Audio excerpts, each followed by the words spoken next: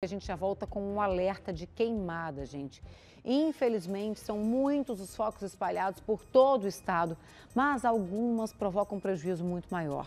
Os bombeiros estão combatendo incêndio no Parque Altamiro de Moura Pacheco, uma reserva ecológica entre Goiânia e Anápolis.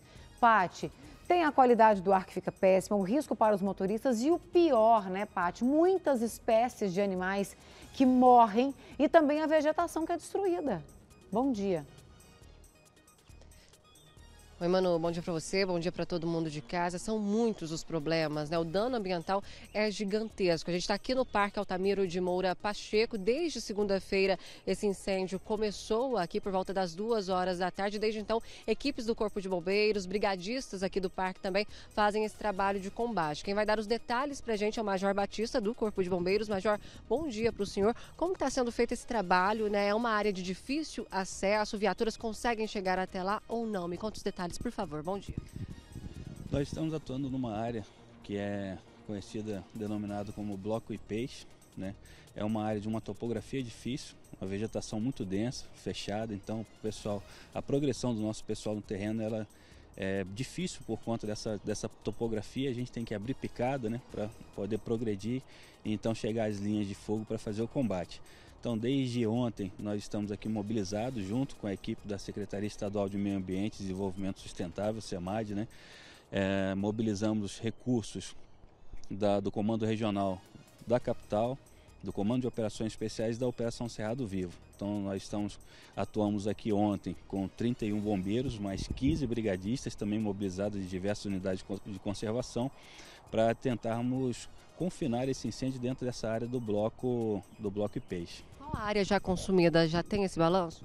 Olha, ontem é, na reunião com, com a equipe da SEMAD, a área estimada até ontem à noite era de 110 hectares. É muita coisa, um incêndio de grandes proporções, né? Que começou, repito, na segunda-feira. Ontem nós estivemos aqui, no começo da tarde, estava controlado, né? Durante a madrugada, novos focos surgiram. O que, que aconteceu? É, a gente teve uma mudança no comportamento, porque são, são vários fatores né, que interferem na propagação do fogo. Então a gente tem o fator meteorológico, né, principalmente a atuação do vento, tem o fator da topografia e da vegetação. Então a gente está num período já longo de estiagem, a vegetação já bastante seca, né? Então muito disponível para a combustão. E durante a madrugada a gente teve uma alteração do, da direção do vento e justamente para a área onde a gente tinha como uma área crítica, uma área sensível, né, que a gente estava fazendo a proteção ali com base no acero. E a gente teve ali um, um, uma situação do fogo pular esse acero. E a nossa equipe hoje, já desde 6 horas da manhã, emendando, é claro, com a atuação que foi feita durante toda a madrugada, é, concentrada nesse ponto para a gente conter esse avanço desse incêndio e delimitar a propagação desse fogo. Já se sabe o que causou esse incêndio, se foi ali às margens da rodovia, qual ponto ou ainda não? Não, a gente ainda não tem essa informação, isso vai requerer um trabalho depois de investigação para identificarmos essa causa desse incêndio. Agora, o Parque Ecológico, assim como vários outros parques do estado, várias outras áreas florestais, sofrem né, com as queimadas nesse período do ano. Qual a orientação que o senhor passa? Porque muitas vezes esse incêndio começa ali às margens mesmo da rodovia pela ação humana, né? Qual que é a orientação? 90, 99% dos incêndios eles são ocasionados por ação uma, uba, é, humana. Então, durante esse período, inclusive existe um decreto em vigência né, de, de, situação de emergência ambiental em que restringe a utilização de fogo, seja para fins é, agro, silvo pastoris, né, como também fogo né, para eliminação de lixo, para limpeza de pastagens, enfim.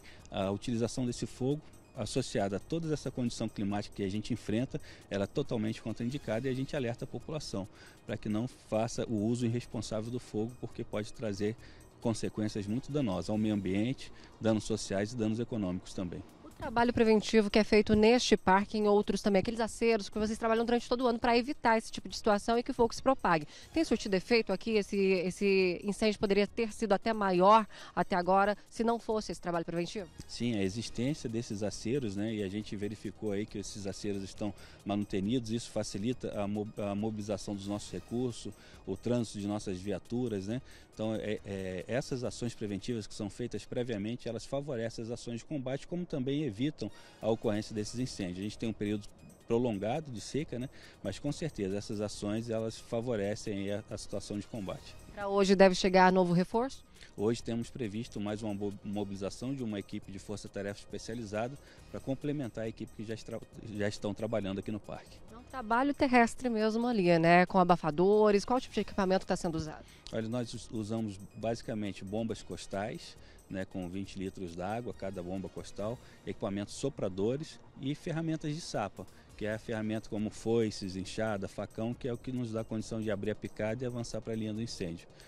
para a realização desse combate direto. Tá certo, muito obrigada pelas informações, mano. Um trabalho pesado sendo feito aqui pela equipe do Corpo de Bombeiros, também por brigadistas do parque. Repito, esse incêndio começou na segunda-feira, né? Hoje, quarta-feira, durante a madrugada, ele ganhou nova proporção, então é aguardado também um reforço para o combate desse incêndio. A gente sempre faz o alerta, repete, a gente não vai cansar de falar, né, Manu?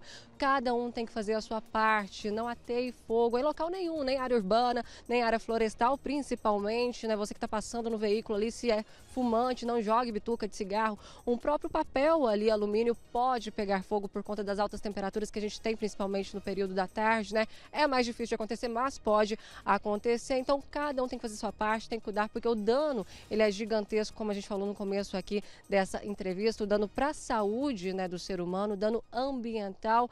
São só problemas, né, com esses incêndios. Eu volto com você. Só problemas, né, Paty? Infelizmente. Obrigada pela participação ao vivo aqui com a gente.